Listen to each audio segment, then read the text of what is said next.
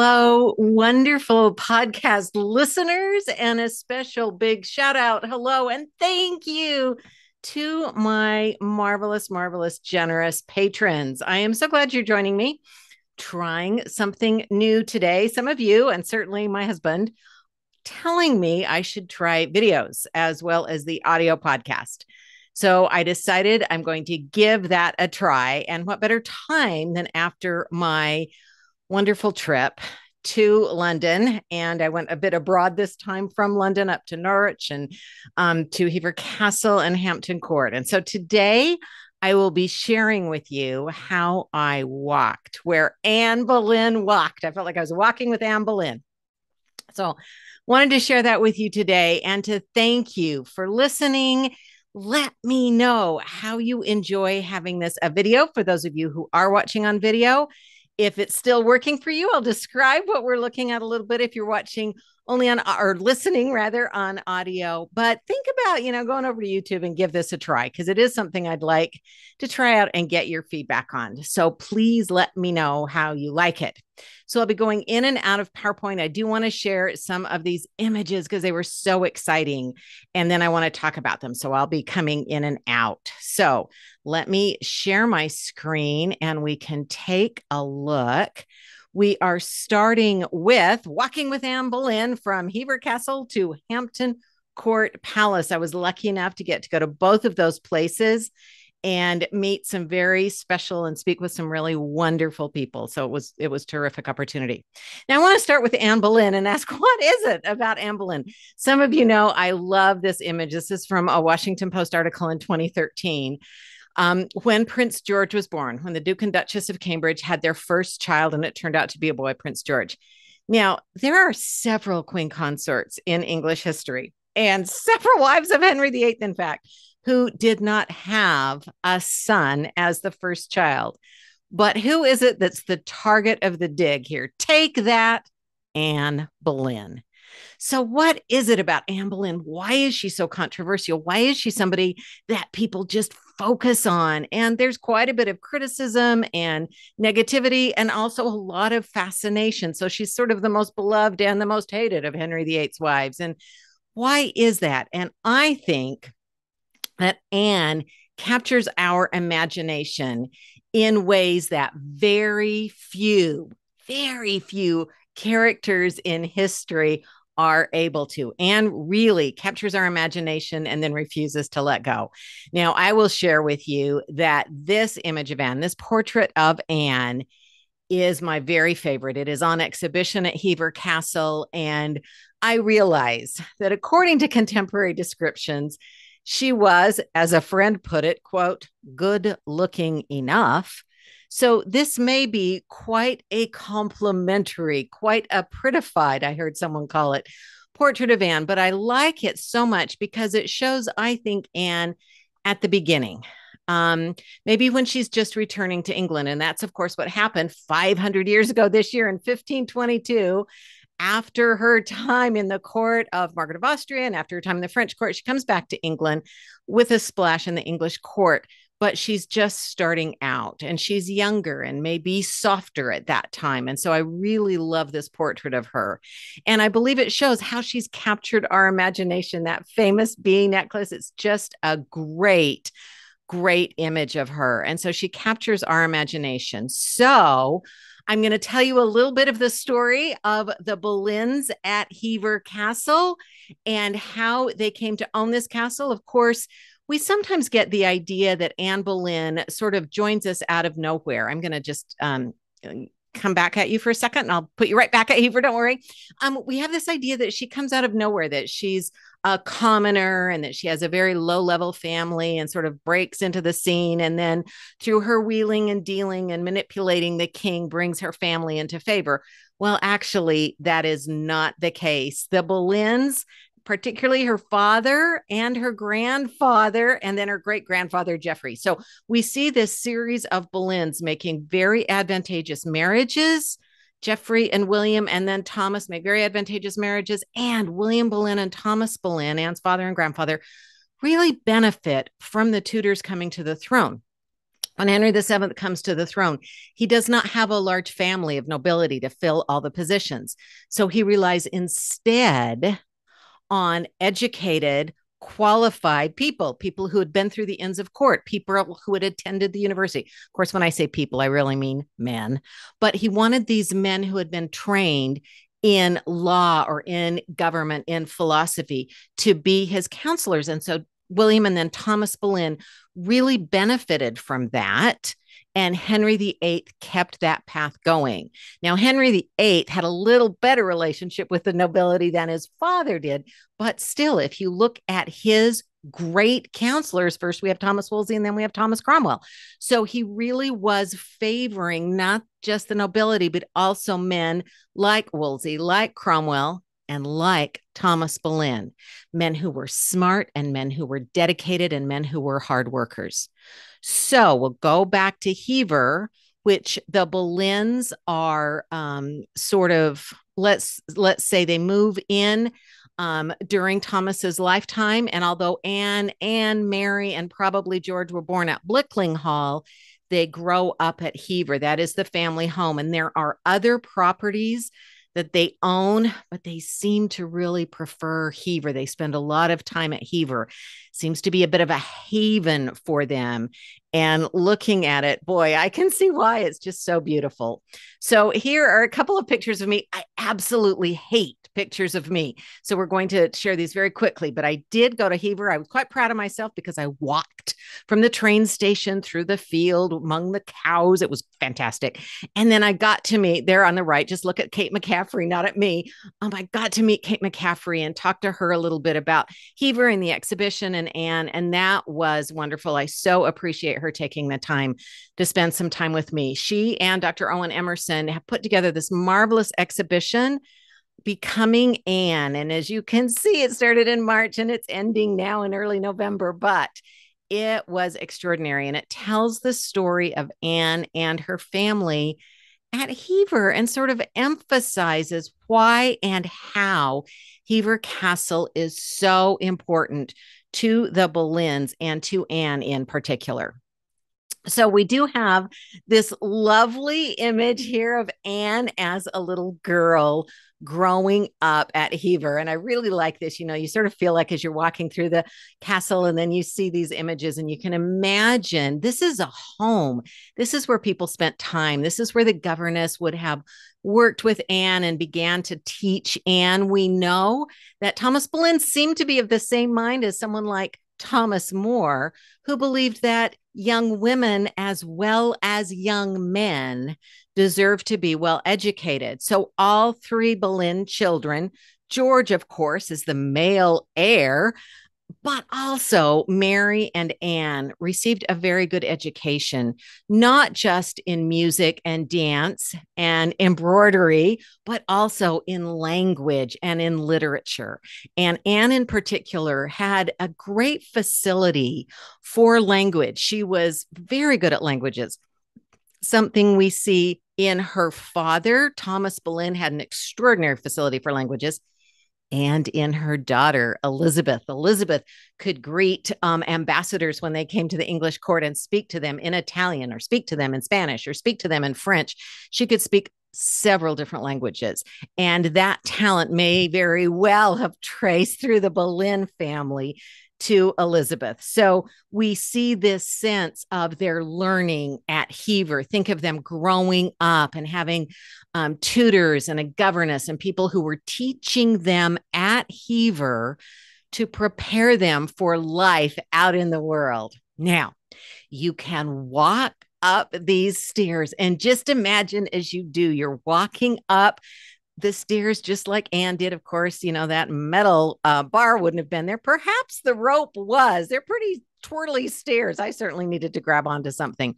But anyway, you can walk up those stairs and into the room that people think probably was Anne Boleyn's bedroom. Now, it's likely, or at least very possible, that she would have shared that room with her sister Mary. So let's think about that.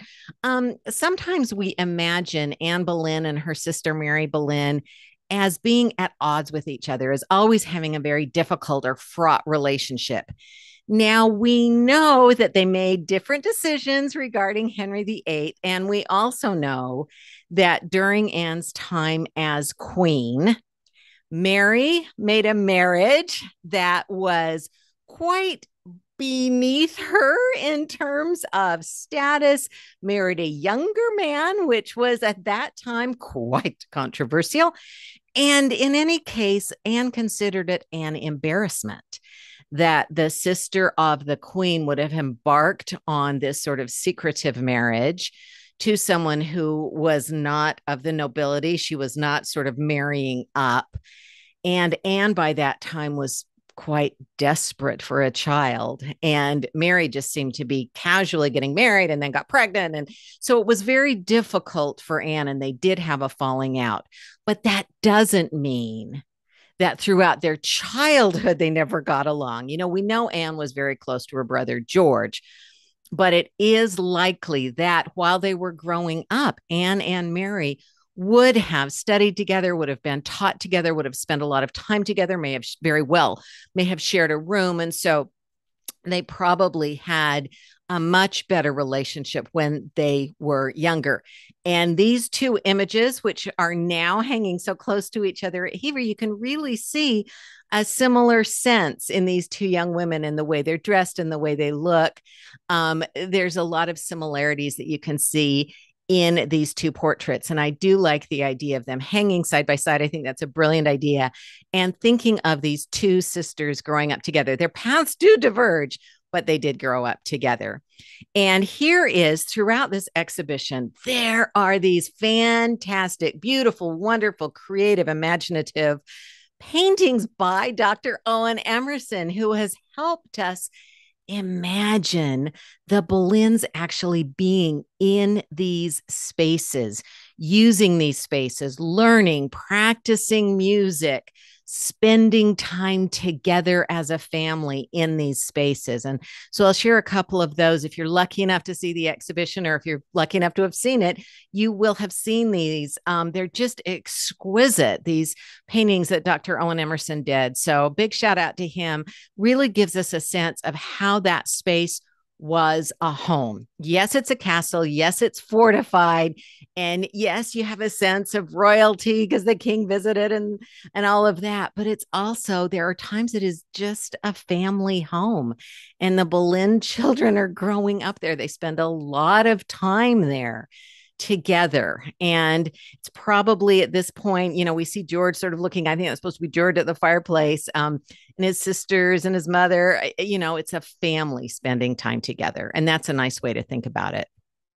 Now, there comes a time when others visit Hever as well. So we know that Anne leaves Hever and she goes to the court first of Margaret of Austria. Now, how in the world does Anne Boleyn get a placement in this court? It was such a sought after position. Margaret of Austria was an extraordinary woman who was known for running this magnificent court and it was it was the thing the place to be well, Thomas Boleyn had been appointed as an ambassador to her court, and he and Margaret of Austria got along very well. Perhaps it was his facility with language, perhaps it's his charm as a courtier. But in any case, it seems pretty clear that rather than Margaret of Austria communicating with her ambassador, who would then talk to Thomas Boleyn, she actually spoke with Thomas Boleyn directly. And the two of them seem to have, have made a bet, for example, when there was another ambassador coming from France and they sort of bet how soon he would get there. And if Margaret won, then Thomas would have to give her a horse. And if Thomas won, then Margaret would give him something. And so it's just really funny. Thomas ended up winning the bet. Um, but it's funny that they had this quite warm and open relationship, Thomas Boleyn and Margaret of Austria. And it seems that Thomas had perhaps sensed something in his younger daughter. Anne is the younger of the two girls. We're not sure 100% exactly when they were born. The year Anne Boleyn, it's sort of agreed by some historians it's 1501, but there's no exact record. But in any case, Mary was almost certainly born first. But Thomas chose his younger daughter, Anne, to be the one to get a place at Margaret of Austria's court after he had sort of um, charmed Margaret of Austria a little bit and set it up so that Margaret of Austria, and I'm just going to come out, it seems to me I could just talk to you for a minute. So um, Anne goes to the court of Margaret of Austria now she is a single woman. She's been widowed. Margaret of Austria has and decides after her third marriage, sort of ends her first marriage. Eh, it, it was called off at the betrothal stage. And then she'd had two husbands die. And then she said, okay, I'm just going to stay a widow.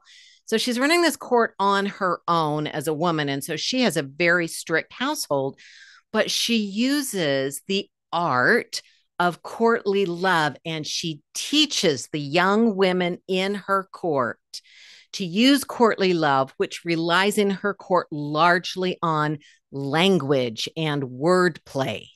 So, in courtly love, the gentlemen of court choose a mistress, but it's in name only. It's a purely platonic relationship, but they serve the mistress. They write poetry for the mistress. They do service and activities for the mistress. And this is one of the ways that women who are running a court of men are able, and we see Elizabeth I do this as well, able to work with men and get men to do what this woman is telling them to do, which just straight out is something that they would have thought was appalling. How can a woman tell me what to do? Well, in the construct of courtly love, it becomes a lot easier. And so Margaret of Austria uses that and teaches her ladies to use that. And Anne Boleyn really picks up on that. She has a very ready wit. She becomes very confident, and those attributes allow her to be very good at that art of courtly love. So she goes on, she spends some time in the court of Margaret of Austria, and then Thomas has another opportunity. So he recalls her for that and has her join the court of Mary Tudor, as in Mary Tudor, the sister. There are so many Marys. Mary Tudor, the sister of Henry VIII, who's about to marry Charles XII of France. And so Anne comes to France. Her sister Mary is also in the train of Mary Tudor. And so these two sisters, Anne and Mary Boleyn, are again together in the court of Mary Tudor, who becomes the Queen of France. Now, you may know this story. Charles is quite oh i'm sorry louis louis is quite old i'm afraid i called him charles earlier it's louis of france he is quite old, and the marriage only lasts a few months before he dies. Now, here's Mary now as Dowager Queen of France. And she has decided, and, and according to some sources, Henry VIII has agreed, although, you know, it seems like sometimes Henry VIII agrees with people in the moment to get them to do what he wants and then maybe wanted to take it back. I don't know. But in any case, without Henry's permission, Mary decides to marry Charles Brandon, Henry's best friend. So the two of them get married and then they have to kind of skulk back to England and beg forgiveness. Mary Boleyn also returns to England, but Anne stays in France and she serves the new French queen, Claude. And so she is once again in this glittering, sophisticated, the court of Francois le Premier, Francis I of France. And he is considered a real Renaissance king. He is a huge patron of the arts.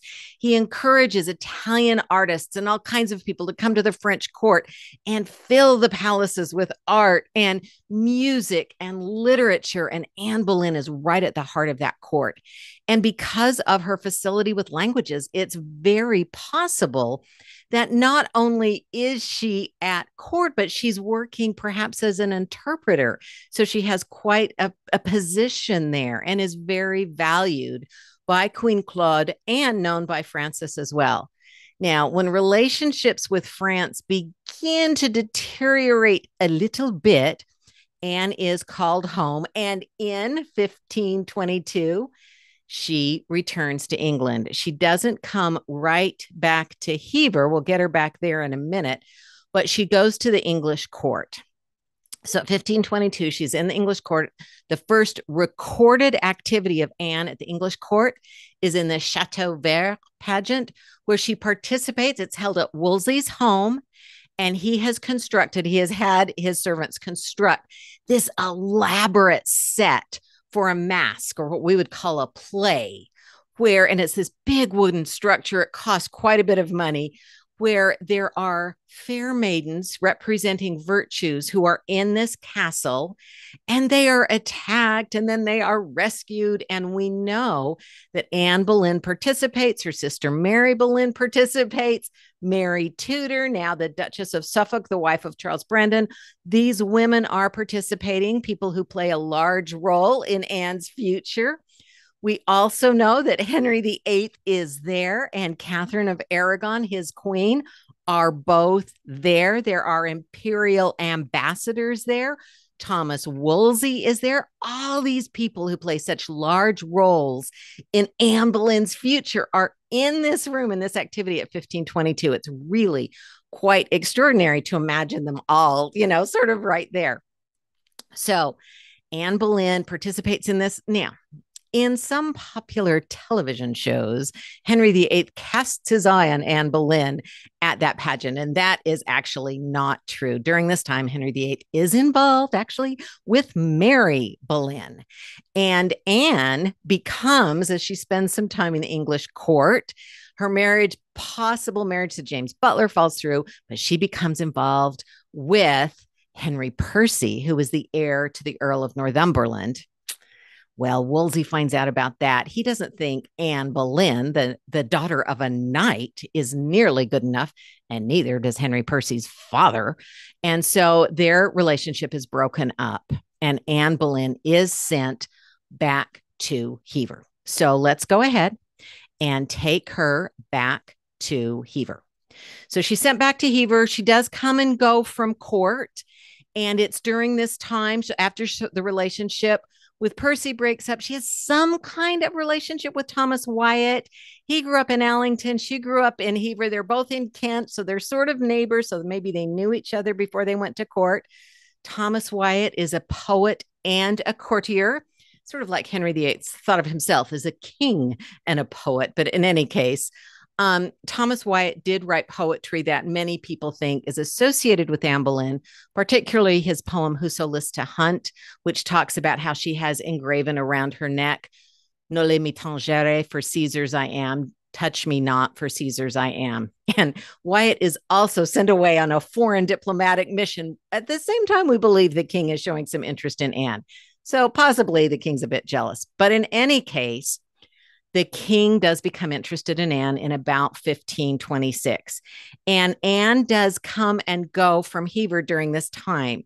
And I like to imagine this is one of the beautiful, I just love these windows and looking outside. So imagine Anne sort of looking outside and wondering who it is coming to visit her. Is Henry coming to visit? Because he made many um, journeys to Hever Castle.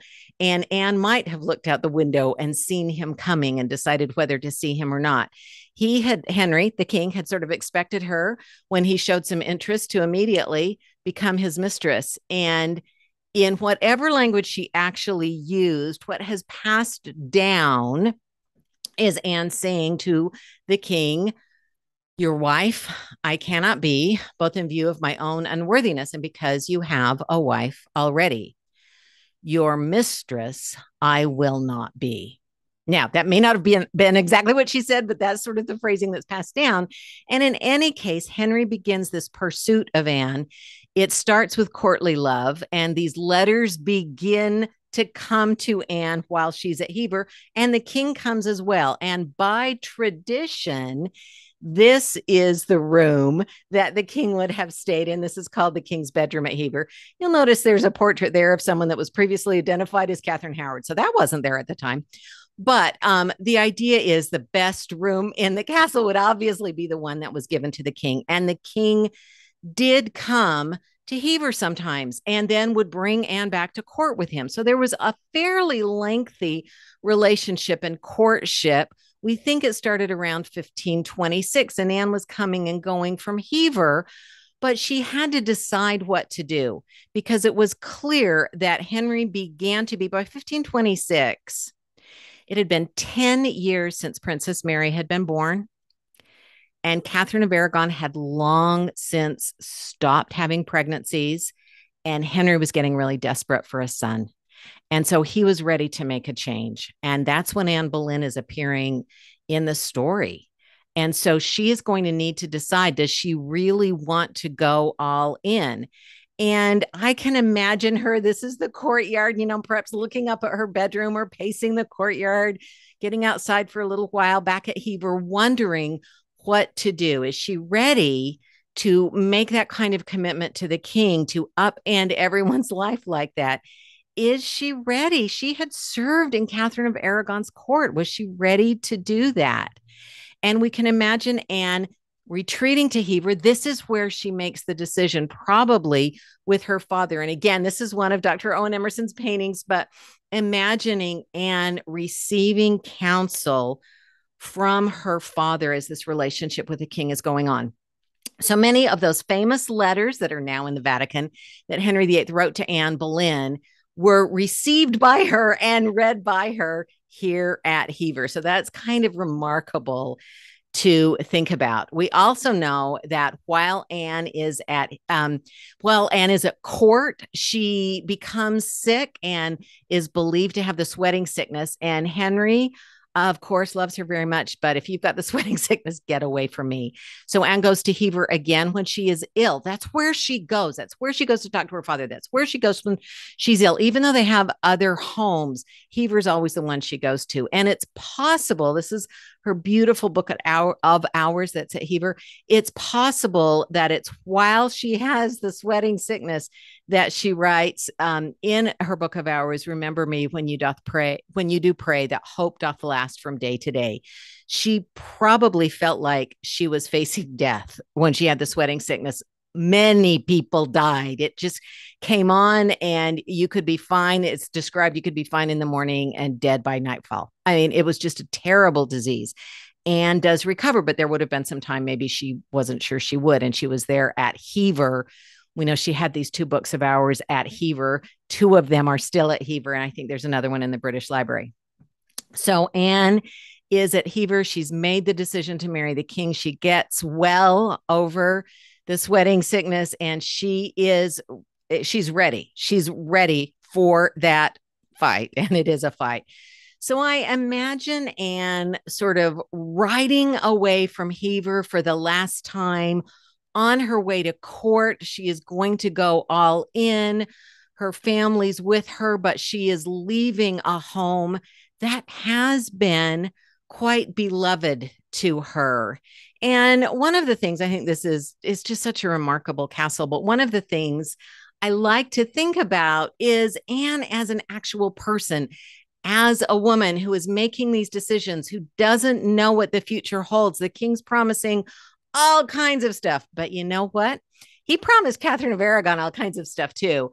And Anne is watching him change his mind. And so she knows he changes his mind. And so she is taking a big chance and she must have known that. And so it's really interesting to think of her shifting. And that's what I was thinking about her shifting from a life at Hever where she could go and retreat to a life at Hampton Court. And that's just an example, of course. That was not the only palace, but it is a palace where we can still see a lot of Anne Boleyn. And that's why I've decided um, to take us from Hever to Hampton Court because we can see so much at Hampton Court.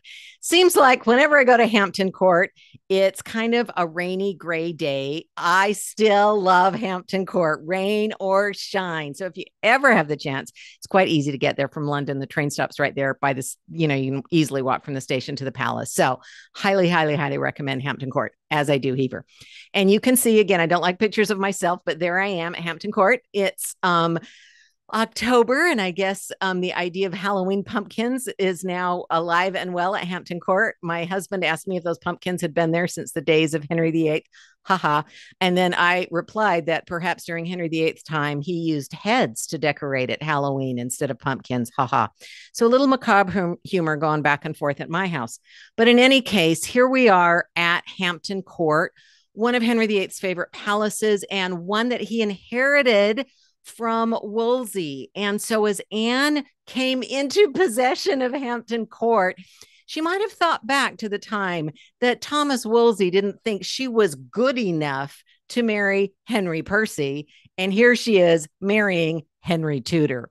So Anne is at Hampton Court. Here is a sunny day when I was there. That's not from this most recent trip, but it's from an earlier trip of mine. And I was there on a sunny day. And much of this, yes, a lot of it has been restored. And um, the Victorians did a few um, very interesting, made some interesting decisions, but much of it does look like, and some of it actually is from Tudor times. So you can imagine coming to Hampton Court. Of course, most people would have come by river rather by the than by the road, which we have here. But coming to Hampton Court and being prepared to enter this great palace. Now, if you go through the Anne Boleyn Gateway, and yes, I've been told that this has been recreated, but I like to think that there was a time it really looked like this. And certainly we know there was all kinds of decorative activity going on at Hampton Court. We have records of that. Henry renovated the whole place. And he was dedicated as his commitment to Anne kept growing and growing, and they got closer to finally getting married. Um, to that, you can see on the left the H and A entwined. And so there are carvings of H and A entwined in this ceiling that's probably been re- almost certainly been redone, but maybe it was there originally too. And you also on the right see Anne Boleyn's badge, which is the falcon. Um, and so those two elements I want you to, you know, keep in mind the H and A and the falcon because they are very important to Anne Boleyn and they are part of you see in the center just a larger view of the ceiling. There's also, of course, um, the portcullis for Margaret Beaufort. There's several Tudor roses. There's a fleur de lis because Henry thinks he's king of France. So there are all kinds of elements that mean a great deal to Henry. Now, what I'm just going to leave Hampton Court for just a moment to take you to King's College Chapel at the University of Cambridge. If you ever have a chance to go to Cambridge and go to King's College Chapel, go up to the screen and you will see that the H and A right there in the center, you can see that really well. And then just a little bit up to the right, you can see the falcon. You can't see the whole thing, but you can see the branch growing out of the stump and you can see the falcon's leg holding the scepter. So they are able to date when this was created, when it was built, when it was carved because it turns out Henry's marriage to Anne Boleyn, when the falcon was actually crowned and holding that scepter, wasn't all that long. And in fact, in other parts of the screen, instead of the H and A entwined, Henry goes back to just HR for Henry Rex. So you can sort of see, oh, that must be after 1536 when Anne Boleyn has fallen. So it's really interesting. But that HA and the Falcon, those were very important and they were all kinds of places. Henry really believed, as his father had, you know, that Tudor rose that Henry VII came up with everywhere well, the Falcon and the H&A were in many places as well. All right, so I want you to just kind of imagine.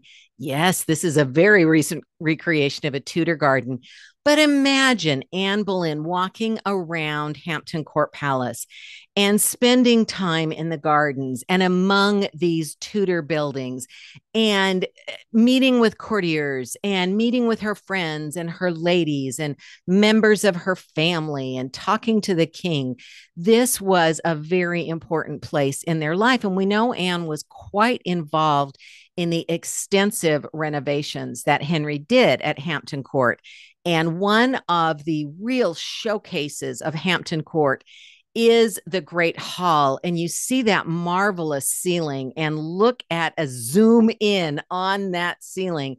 The hammer beam ceiling is really quite extraordinary. And you can see the pendants hanging down.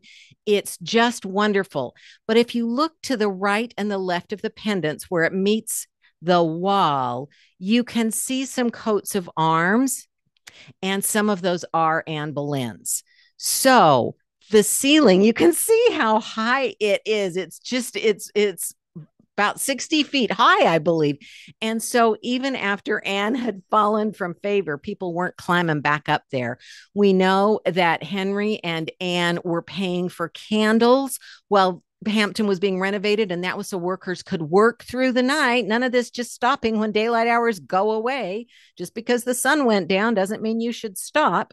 So workers worked through the night to get all this done, and I guess they just weren't that eager to climb back up and scrape off the H and A. And so you can see many of those.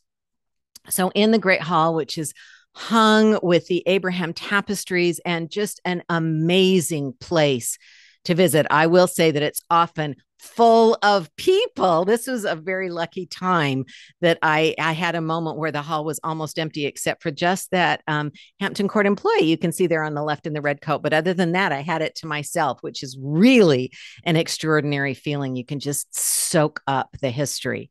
But in addition to some coats of arms, up on the um, ceiling, there's something very important, which is, and I will tell you, this is very high. And yes, I good, I have a good iPhone, but you know the camera is not, it's not the newest iPhone. But in any case, I believe that central figure there is the Falcon again. We know that Anne's Falcon would have decorated Hampton Court Palace during her reign, during her heyday, during her time of glory. And the falcon was crowned. And I believe that that is one of them. It's very high, it's very hard to see, but I think that's one of them. And of course, as you know, recently there was a falcon discovered. And so this is now on display at Hampton Court Palace. I actually got to see it with my own eyes cannot tell you how exciting that was for me to see that beautiful, beautiful falcon. It has been restored. It is covered in this beautiful gold, and you can see the red and white of the flowers is just is just so beautiful. And probably that's what was around the palace. That's what was decorating these brightly colored, beautiful elements to celebrate Anne Boleyn. So while she was at Hampton Court, it was this beautiful place that was in part a celebration of her. So as we think about walking where Anne walked, um, I really feel like both Hever Castle, where she gets her start, and Hampton Court, where she experiences sort of the height of her glory. And now, where we're able to see that falcon, I don't know how long it will be on display, but it is just magnificent. And it is so exciting to see it there and to imagine this woman that we think we know so well, think of her as just a real person walking through these halls and looking up and just probably sometimes being shocked to look up and see that golden crowned falcon a badge that she had chosen an emblem of this bird that's a hunter and that's so determined to get to its prey. And for that short in comparison period of time she really had achieved it all. And then as the sun begins to set on Hampton Court, we know that after, you know, less than three years after her grand and glorious coronation, that Anne Boleyn at some point sailed away from Hampton Court for the last time. Uh, and in May of 1536, everything fell apart. If you want to think about it, on May 1st, She's sitting next to the king, recognized as queen at the May Day joust. And on May 19th, she is beheaded at the order of her husband. And it's an unbelievable, violent, speedy fall. But before that, and I think sometimes we rush to that, think of the moments that she did spend walking at Hever, walking at Hampton, and experiencing all of these amazing things. And I also like to imagine that 500 years later, 500 years after she sort of burst upon the English court, because of recent sister, recent history, the recent discovery of that falcon, and the recent history that Kate McCaffrey has done on the Book of Hours of Anne Boleyn, where she's found the inscriptions of future owners who knew Anne and kept the book safe so that later it could be shared with Anne's daughter, Elizabeth, who, of course, goes on to reign to become the longest reigning Tudor, and many believe the greatest Tudor and one of the greatest monarchs in English history, Elizabeth I. So, thank you so much for joining me for Walking with Me, where Anne Boleyn walked, where we see her start from childhood at Hever to going back to Hever. That was her special retreat to some glory days at Hampton Court. And now I think it's just extraordinary that both Hever and Hampton Court house these very exciting, recently researched items that continue to tell Anne's story in such powerful ways. So, thank you so much for listening and watching. If you watched, I would love to hear what you think, especially of doing some videos. Tell me if you liked them, if it works for you. And thank you so much for being with me as we walk where Anne walked and shake up history together.